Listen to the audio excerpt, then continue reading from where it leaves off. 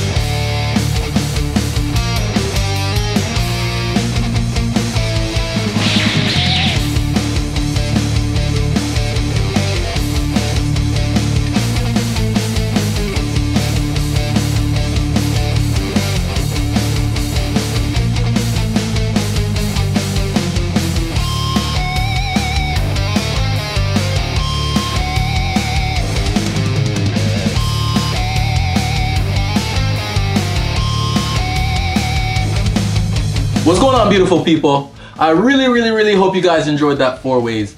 Dragon Ball Z is one of my most favorite animes, let alone one of my most favorite shows of all time.